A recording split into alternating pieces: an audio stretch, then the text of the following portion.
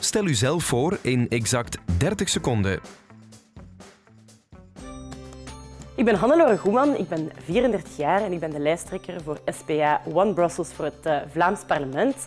Ik uh, woon uh, 10 jaar in Brussel nu, ik ben afkomstig uit Leuven. Ik zit op dit moment in het Brussels parlement, waar ik me bezig hou met sociale zaken, um, gezondheid en werk.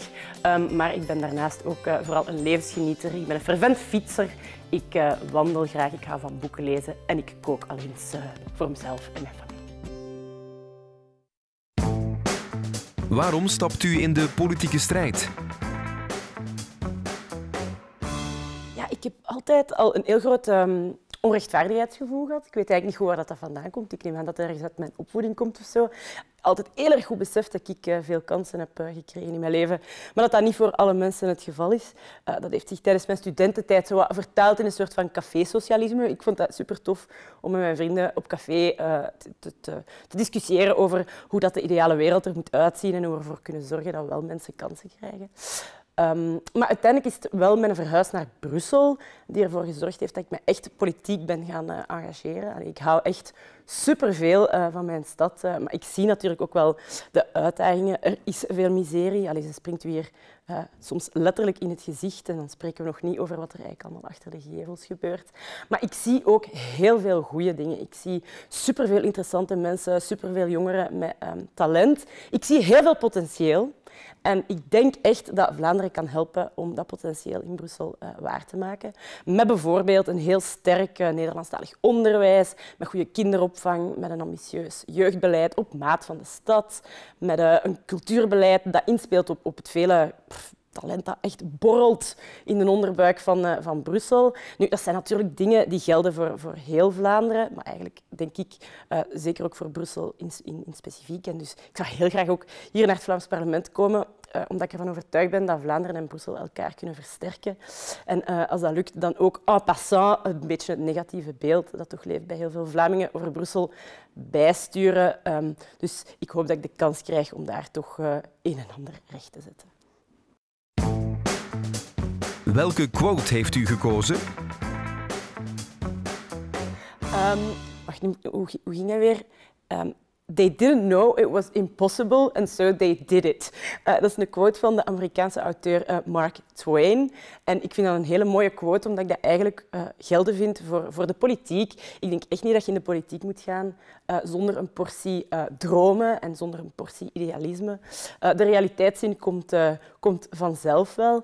Um, ik heb ondertussen al geleerd dat je ja, een portie geduld moet hebben in de politiek. Het gaat niet allemaal vanzelf. Maar met doorzettingsvermogen en geloof is er echt heel veel mogelijk. En dat vind ik ook zo schoon aan politiek. Ik bedoel, alles is eigenlijk mogelijk. Je moet er gewoon zelf in geloven en daarna voor willen vechten. Uh, van het inrichten van een park tot het uh, hertekenen van de kinderbijslag. Allee, het is allemaal rond de politieke tafel uh, dat het gebeurt. En dus je moet je gewoon engageren om dingen mogelijk te maken. Wie zijn uw politieke voorbeelden? Heb er uh, twee, twee uh, gekozen. De eerste is Frank van den Broeke. Dat heeft er misschien ook wel mee te maken dat ook mijn moeder heel grote fan is. En dat wij vroeger op zondag naar de zevende dag zaten te kijken en dan samen voor hem aan het supporter waren. Um, maar het heeft er ook heel veel mee te maken dat dat gewoon um, iemand is waar ik heel veel bewondering voor heb. Dat is iemand die, die voor mij rustige vastheid uitstraalt. Dat is iemand die zijn dossier, dossiers kent, maar toch ook heel gepassioneerd is uh, en, en, heel erg uh, idealistisch over de zaken waar hij in gelooft. Hè. Uh, gelijke kansen in het onderwijs, betaalbare, betaalbare gezondheidszorg. Um, ja, en daar, daar, kijk ik naar op. Dat is geen tafelspringer, maar dat is wel iemand die dingen um, realiseert en waar ook tegenstanders eigenlijk vaak uh, vertrouwen in hebben. En dat is ook de manier waarop ik aan politiek wil doen. Uh, en de tweede is uh, Federica Mogherini. dat is de hoogvertegenwoordiger van de EU rond buitenlands beleid. Ik vind sowieso dat er veel te weinig aandacht is voor Europese politiek. Dus ik probeer dat zelf wel echt op te volgen. En dus um, ik vind dat, dat, dat, mevrouw Mogherini echt... Allez, ik heb heel veel respect voor hoe zij als vrouw haar mannetje staat in wat toch nog altijd een heel erg mannelijke wereld is. en ik denk dat we heel veel respect moeten hebben voor het feit dat er ook politici zijn zijn die achter de schermen um, heel veel diplomatiek werk leveren. Zeker in buitenlands beleid is dat heel erg belangrijk. Wat zijn uw politieke interesses? Mijn twee grote politieke interesses zijn uh, onderwijs en welzijn. Dat zijn natuurlijk ook twee thema's die passen bij uh, een rechtgeaarde socialist. Um, ja, onderwijs, omdat ik echt aan politiek doe vanuit het rotsvast geloof dat iedereen een kans verdient, een eerlijke kans om iets van zijn leven te maken. En ik zie in Brussel helaas elke dag dat dat toch niet voor alle kinderen geldt. Uh, uw afkomst bepaalt eigenlijk nog altijd in heel grote mate uw toekomst. Uh, en dus uh, vind ik dat we veel meer moeten investeren in ons onderwijs. Ik merk dat leerkrachten vandaag eigenlijk de tijd en de middelen niet meer hebben om echt te werken aan de uitdagingen van ons onderwijs. en dat zijn armoede en, en in Brussel dan specifiek ook taal. We hebben heel veel anderstalige kinderen in het Nederlandstalig onderwijs. Als je, daar, je kunt daar heel veel mee doen. Uh, Nederlands is een ongelooflijke troef, maar je moet dan natuurlijk ook wel uh, daarin kunnen investeren. Ik denk dat we ook uh, minder grote klassen nodig hebben. Ik denk dat we minder planlast nodig hebben voor leerkrachten, dat die echt totaal overwerkt zijn. Dus dat betekent dat we meer middelen nodig hebben. Daar wil ik voor pleiten. Tweede is uh, welzijn. Hè. SPH trekt natuurlijk ook naar de kiezer deze keer met de slogan zorgzekerheid. En dat is omdat we echt merken dat er heel veel mensen zijn die vandaag de juiste zorg niet krijgen. Er zijn, uh, er zijn lange wachtlijsten, onder andere in de psychische zorg. Dat is iets wat ik mij heel erg aantrek, ook voor kinderen. Ja, ik vind dat echt een beschaafd land totaal onwaardig. Dus uh, daar moet gewoon meer, uh, meer in geïnvesteerd worden. en dan heel specifiek vanuit mijn Brussels perspectief zie ik ook dat er in de zorg in Brussel enorm veel versnippering is. Uh, dat dat heel complex is geworden, omdat iedereen bevoegd is. En dus uh, ik zou heel graag hebben dat er uh, meer overleg is tussen de verschillende overheden, zodat we echt naar een visie kunnen gaan op gezondheidsbeleid, in plaats van dat iedereen in zijn eigen hoek een beetje zijn eigen ding aan het doen is. Want ik heb het gevoel dat vooral de patiënt en de mensen die zorg nodig hebben, daar in de praktijk het slachtoffer van worden. Wat kan er anders en beter in de politiek?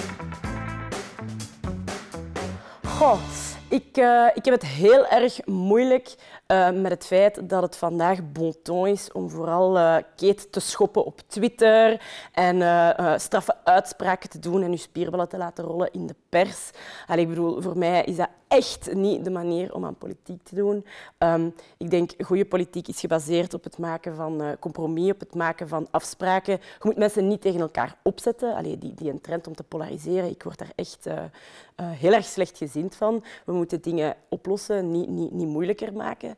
Um, en dus als ik zeg compromis en afspraken, ja, dat, is, dat, dat, is een tweede ding. Allee, je kunt een democratie alleen maar laten werken. En zeker een, een, een coalitiedemocratie zoals die uh, vandaag bestaat, als je rond de tafel zit en dan afspraken maakt en u daar ook aan houdt. En niet om uh, electorale redenen daarna ineens terug uw kar keert. Dus dat zijn de twee dingen die voor mij uh, beter kunnen. Afspraken maken en er u aan houden en stoppen met de hele tijd keet te schoppen op het internet. Welk voorwerp heeft u meegebracht? Ik, heb, uh, ja, ik ken het uh, exacte woord eigenlijk niet, maar een soort van muziekorgeltje uh, meegebracht. Um, ja, ik heb dat gekregen van een vriendin toen ik de eet aflegde in het Brussels parlement. Maar het deed mij ook een beetje denken... Maar misschien moet ik het even laten horen, want... De, de, de melodie is niet onbelangrijk. Dus het is een muziekorgeltje van de internationale. Um, en dat deed me een beetje denken aan um, op het moment dat ik mij nog maar pas geëngageerd had, uh, toen bij de Jongsocialisten. Ik had mij kandidaat gesteld voor het nationaal bestuur en wij deden een tour door Vlaanderen om ons voor te stellen. En in een van de afdelingen hadden ze ons, uh, een beetje om ons te pesten eigenlijk, gevraagd om de internationale te zingen. Nu ja, ik kende die tekst totaal niet, dus dat was een, licht gênant uh, moment. Maar daarna heb ik die tekst wel geleerd. Hè. Allee, en ik vind dat eigenlijk een hele mooie tekst. Hè. Zo dat sterf gij oude vormen en gedachten. Ik vind dat een heel strijdvaardig Um, en ik denk ook dat, dat we dat nodig hebben. Allee, je hoort echt heel vaak dat alles wat de socialisten in het verleden verwezenlijkt hebben, uh, daar werd altijd eerst van gezegd dat dat onmogelijk en naïef was. Allee, het algemeen stemrecht, uh, betaald verlof, uh, universele gezondheidszorg. Um, maar ik denk dat we ondertussen wel bewezen hebben dat veel van die dingen helemaal niet onmogelijk en naïef waren. maar ze hebben wel inzet en strijd gevraagd, ook op het politieke niveau.